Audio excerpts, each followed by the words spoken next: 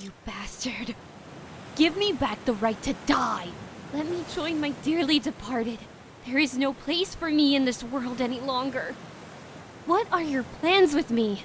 What more do you want from me? Do I live just to suffer? Oh, such fire and fervor! Where did it hide all these years? I didn't save you from certain death only for you to take yourself out.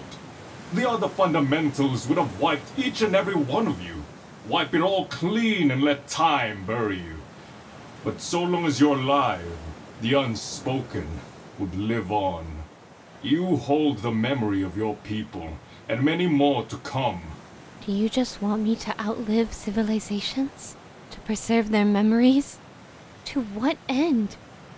You are my failsafe. If we fail our tasks as the fundamentals, and if the world plunge into darkness, you shall be an archive of our mistakes, our splendor.